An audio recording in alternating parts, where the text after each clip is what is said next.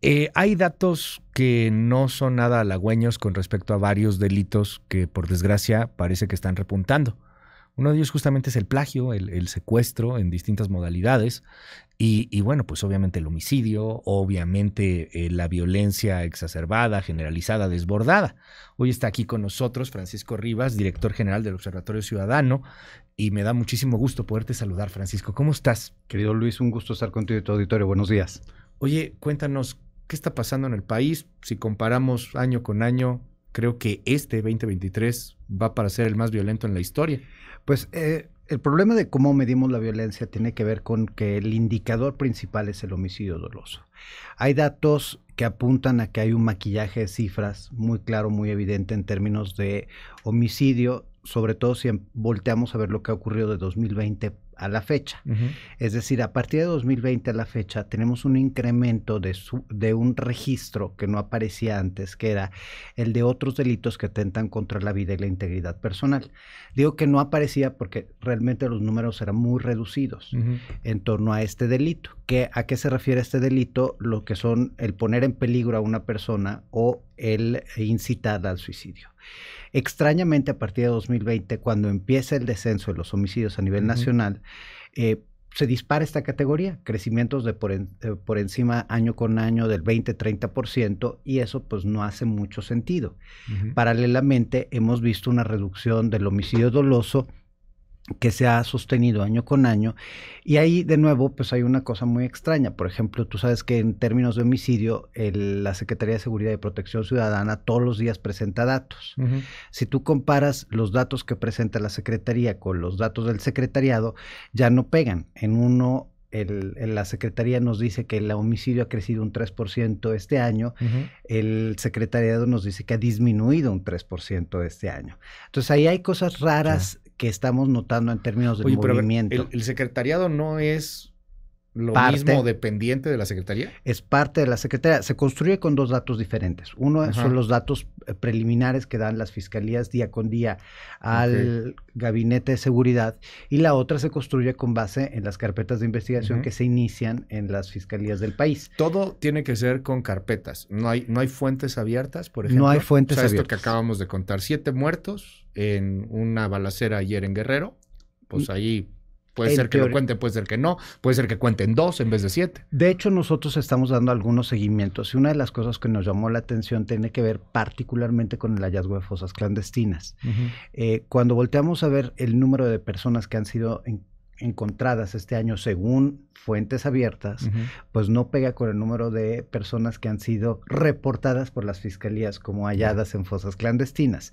y eso lo hicimos a través de solicitudes de transparencia a las 32 fiscalías. La fiscalía te da menos números. la fiscalía te da, números mínimos. Mínimos. Ya hallaste 10 cuerpos, ah, nomás fueron dos. Exactamente. Y en torno al secuestro, tú ahorita lo decías, eh, está pasando pues una cosa todavía más grave. Tú recordarás, ahí se puede dar un seguimiento muy puntual porque en realidad pues los secuestros todavía son un número acotado de delitos respecto a todos los demás. Hace mucho tiempo, perdón que te interrumpa aquí Paco, tuvimos una crisis de secuestros, ¿no? Secuestro express, etcétera, que se daba particularmente aquí en la Ciudad de México. Exactamente, la Ciudad de México en ese sentido ha tenido un cambio. Eh, lamentablemente no el país, y sí ha habido un cambio también en el comportamiento del secuestro. Es decir, el secuestro express era ese de te llevan, tienen que durar menos de 24 horas y te pueden llevar a un cajero o podían ya pedir un rescate, pero eran muy, tienen que ser menores las 24 horas.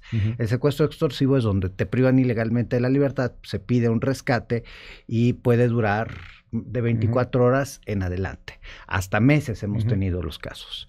En el caso específico de lo que está ocurriendo este año, vemos un incremento del secuestro, sobre todo a los migrantes o a personas de muy escasos recursos.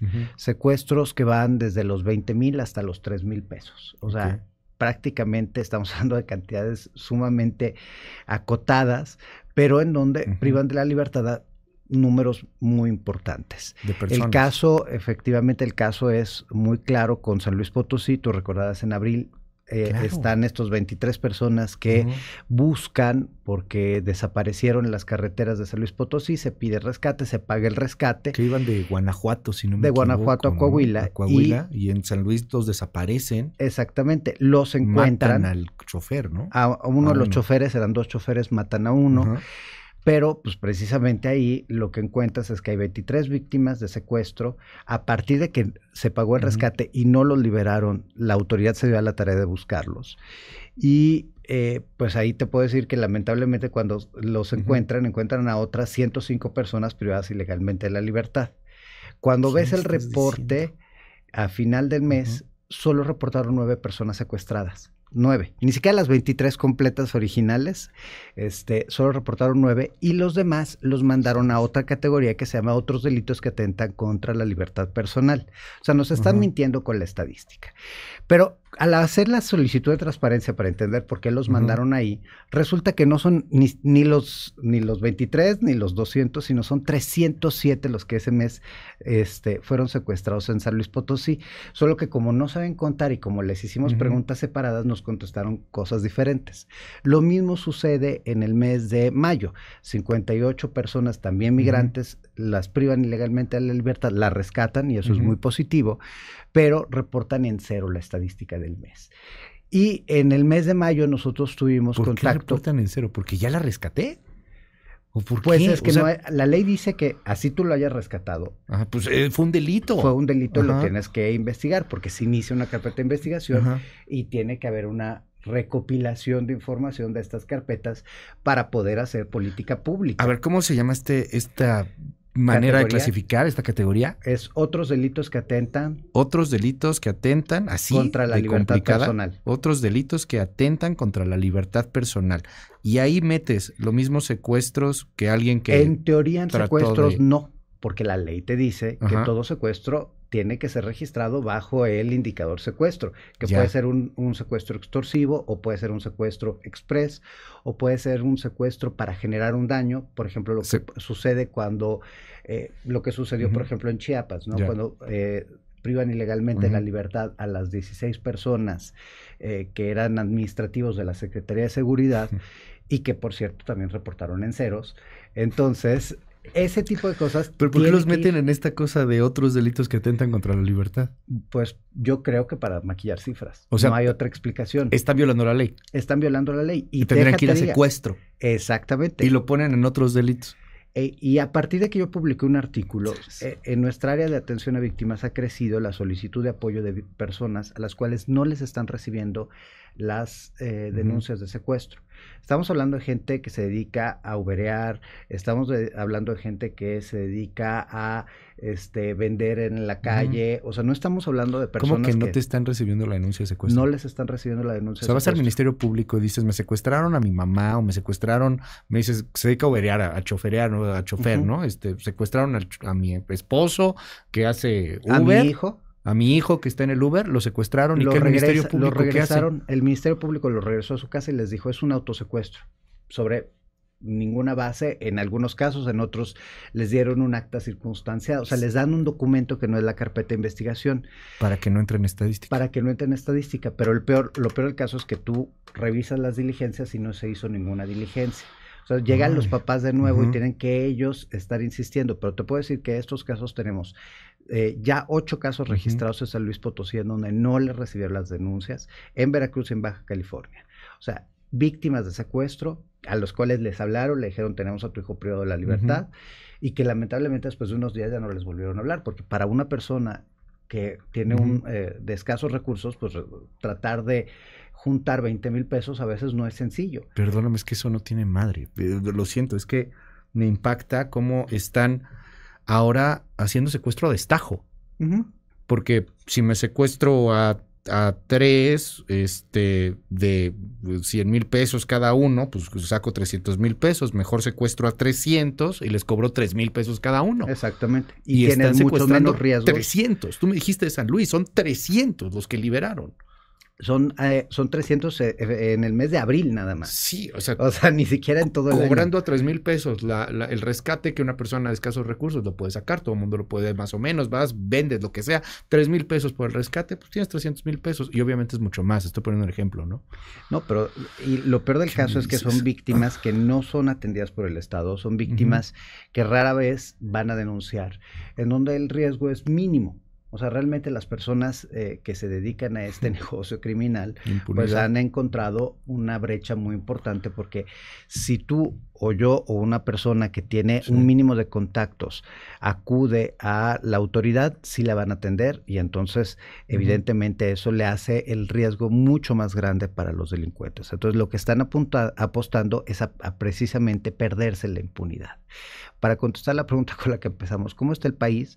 Si comparamos este año con el pasado, lo encontramos en condiciones mucho más críticas y a mí esto que estabas ahorita, esta nota que estabas dando, me parece la, eh, la clave. Ujú. El problema no es que tengamos venta de drogas, secuestro, extorsión. El problema es que tenemos a la delincuencia organizada sentada con la clase política y tomando decisiones a la par. Las elecciones 2021 y 2022 fueron elecciones en donde eh, fue evidentísimo el- la participación de la delincuencia organizada y donde Morena no se hubiera podido llevar el- el- todo el corredor del Pacífico si no hubiera sido gracias a la delincuencia organizada. Entonces, pues es muy grave porque obviamente una vez que Claro. llegan, toman decisiones en conjunto. Oye, ¿dónde están los focos rojos eh, en torno al, al país? No es lo mismo. Yo, yo sé que todo está descompuesto y que en todos lados hay, hay algún lugar en donde se está cojeando, pero no es lo mismo estar, no sé, pienso en Aguascalientes o pienso eh, en Aguascalientes que en Guanajuato, para no irnos a temas partidistas, ¿no? O sea, a lo mejor en Aguascalientes hay cosas más seguras, Guanajuato, pues estamos viendo lo que está pasando. Eh, ¿Dónde están los focos rojos, los, los estados con mayor violencia, con, con más eh, preocupación, Francisco? A ver, yo creo que tenemos diferentes eh, ejercicios y problemas. Si volteamos a ver el tema de delitos patrimoniales, lo más grave lo tenemos en el área metropolitana de la Ciudad de México. Eso es constante. Y es el delito que más afecta a los ciudadanos, Robo. particularmente el robo en transporte público, que puede llegar a ser muy violento.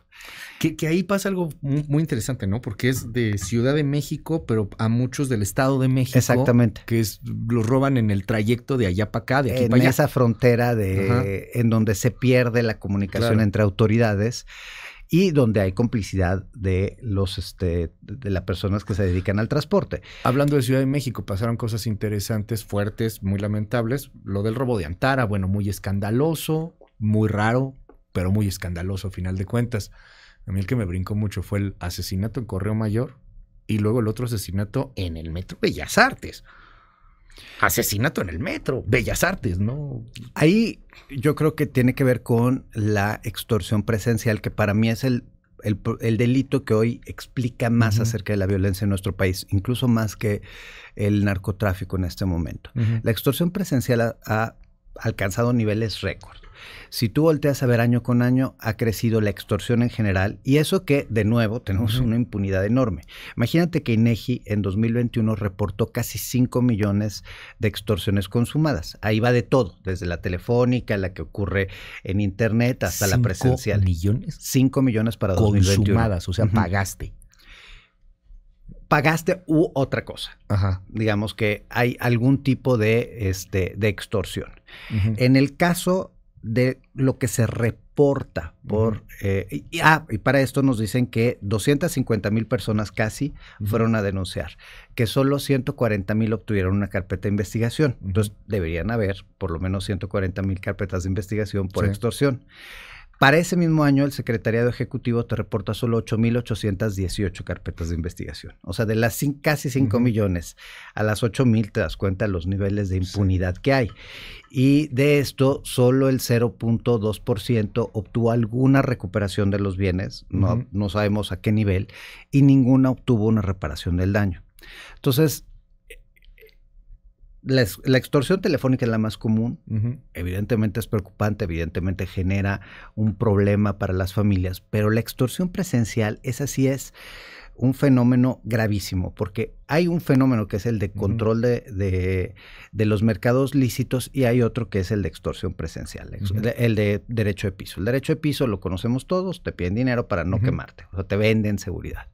Pero el otro es, literalmente, te impiden vender ciertos productos o te llevan a comprarle solo a ciertos proveedores y pues genera monopolios ilegales. y esto pasa, por ejemplo, en los cigarros tantísimo. O sea, tenemos por lo menos 17 entidades en donde el mercado de los cigarros de, baja gama, o sea, los más baratos, son marcas, incluso una marca está registrada, que eh, son marcas que pertenecen a Jalisco Nueva Generación y a Sinaloa, y en donde si una cigarrera se atreve a vender ahí, pues lo secuestran. Pero lo mismo pasa con cerveza. Y pueden vender piratas, por ejemplo.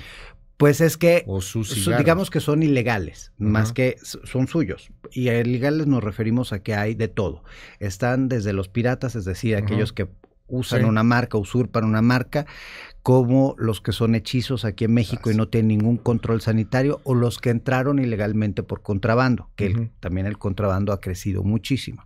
Estamos hablando de eh, refrescos, de cerveza, de huevo, de pollo, limón, aguacate, pero otras cosas que también son muy preocupantes, como son los fertilizantes, como son los plaguicidas, porque esos tienen una afectación muy grave a la salud de las personas. Entonces, ahí es donde no nos damos cuenta que el ejercicio de la extorsión puede acabar afectando mucho más a una comunidad que el simple delito por sí mismo. Entonces, esa extorsión que está ocurriendo en un negocio en León o en un negocio en Aguascalientes, de nuevo, para no poner, eh, no ponernos partidistas o en Fresnillo, eh, pues esa al final acaba poniendo en riesgo la vida de las personas, acaba generando eh, pues un, aumentando el precio de, las, de los productos, es decir, influyendo en la inflación, pero también motivando los desplazamientos forzados.